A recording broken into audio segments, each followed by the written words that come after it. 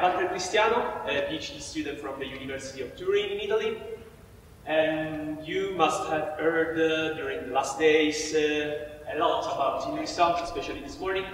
Uh, so you have heard about rhythmic indris, uh, sexual differences in the song, and other features, but uh, we still have to talk about specific features occurring in radio song, which are the non-linearities occurring in the singing of this uh, amazing species. And that is, that is something I'm going to do now. Um, these are irregularities in the, in the vocal production uh, originate um, by the vibration of, of the vocal folds, which is indeed the Eigen nonlinear system.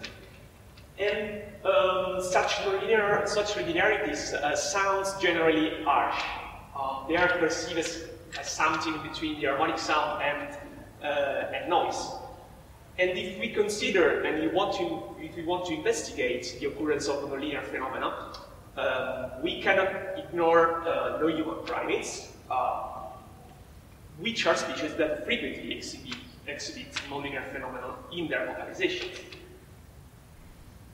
And of course, among them, uh, we may want to investigate those species exhibiting uh, uh, harmonic signals pretty often, such the singing primates, uh, which represent the most distinctive species when it comes to vocal emission, of course. Um, you, we, we saw today during the presentation of Marco Gamba that um, there are only four families of primates uh, which we consider as singing, as singing primates, uh, but uh, today we will focus, as, uh, as I just mentioned, on the Indridae family, on the Indri which is uh, uh, the inhabiting the rainforest, the eastern rainforest of Madagascar, and uh, which is a critically endangered species. Um, I'm not going to spend too much time on the ecology and behavior of the species because you have heard a lot uh, this morning, but uh, just to recap um, which uh, this species does,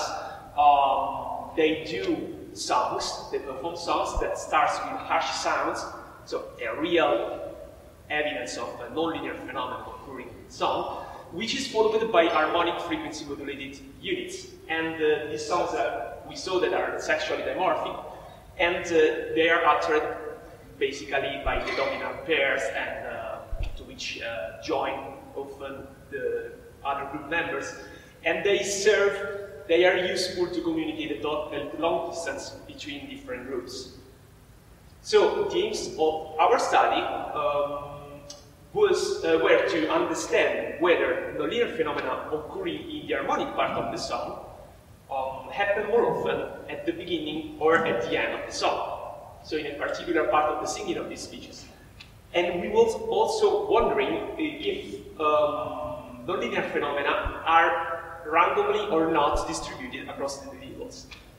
Um, I have to specify here that we didn't look at the roar, we didn't consider the roars which is actually evident nonlinear phenomenon, because we, we were interested in understanding um, which is the role um, or where um, nonlinearities come from uh, the, within the harmonic units. So we looked at the harmonic part of the song.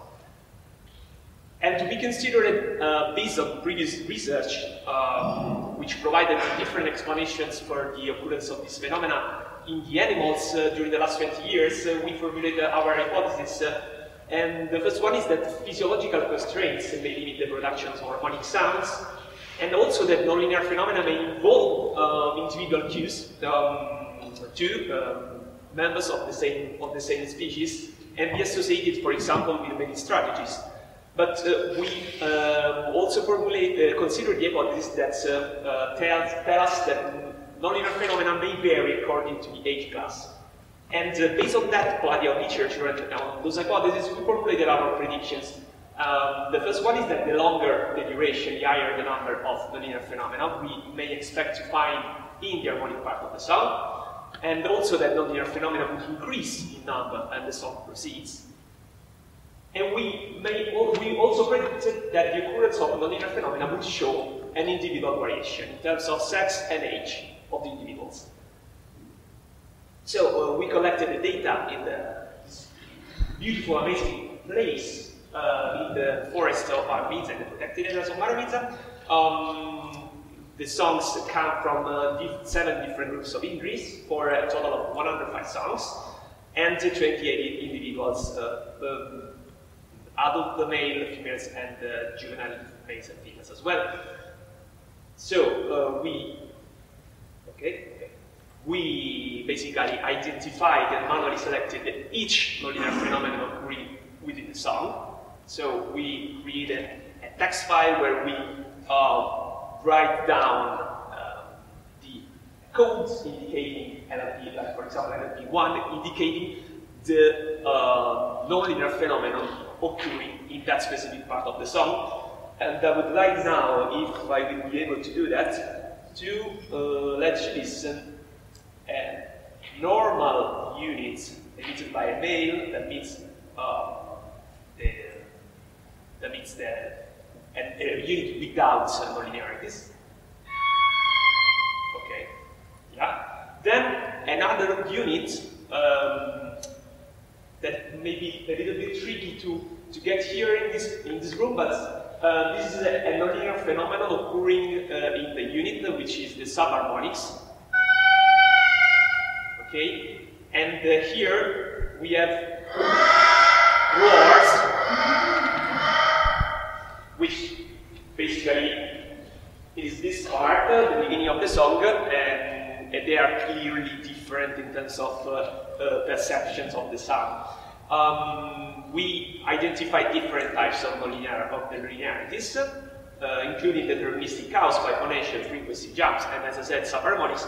And uh, um, these, all these um, features uh, occur sometimes even in some vocal acrobatics uh, emitted by famous singers, such as, for example, Brian Johnson of the AC/DC uh, or Lalah Hathaway. Um, even if we as humans, we don't produce so many uh, nonlinearities compared to the non-human primates.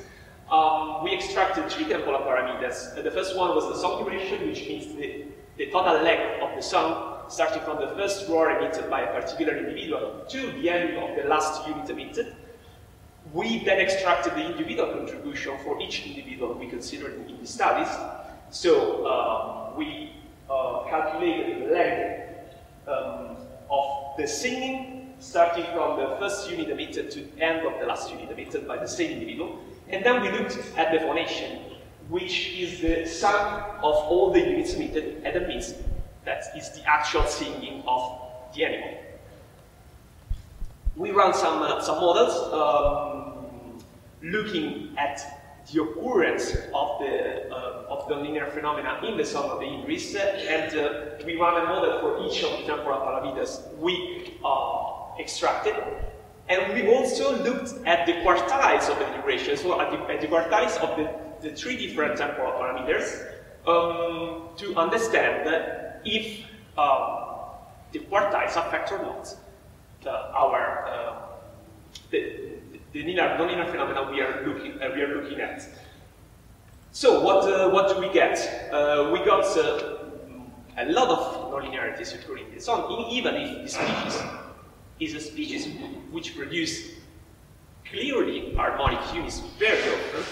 Um, here there is just there are just other examples of how some nonlinear phenomena um, look uh, when you when you look at the spectrum.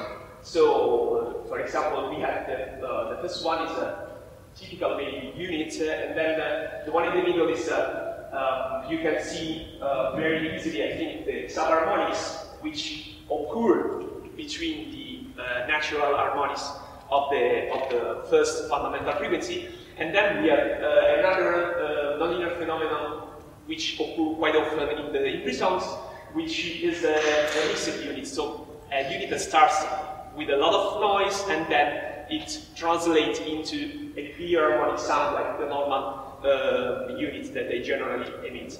Um, we found a positive effect of all the three temporal parameters uh, on the total occurrence of the linear phenomena, but we did not find any evidence of, um, yeah, of uh, sex for sex and age. And uh, we also test, we also tested each model against each other, and we found that it's the actual singing, so it's the phonation, the best predictor of the linear phenomena in the end result.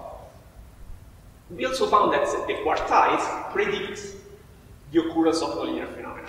And again, we saw that while some duration was not significant, individual contribution and phonation overall um, were uh, statistically significant in predicting uh, the occurrence of, uh, of, the, of the phenomena during the sun. So uh, again, we did not find any, any evidence for the role of sex or age. So our predictions, the first two were confirmed, and in fact, it's the law, it's the duration that um, predicts the, the, occurrence of nonlinearities in a dim zone. And also, nonlinear phenomena would increase in number as the songs proceed, but the occurrence of such phenomena uh, would, uh, didn't show any uh, individual variation. And that um, means that probably uh, in English, it's uh, the physiological constraint which uh, limits the production of harmonic sounds and lead to the occurrence of nonlinearities. And this might be a trade-off between the need of conveying information at a long distance and performing these actual complex and uh, long and loud songs. And maybe simply associated this, uh, this phenomena to uh, maybe the byproduct of the vocal emission, of course, uh, but uh, we didn't find any uh, evidence of adaptive, evidence, evidence which may confirm adaptive hypothesis for the occurrence of such phenomena in this species. Um, I would like to thank, of course, all, um, all of my colleagues and uh, you for your attention, and uh, I'm here for any questions. Thank you.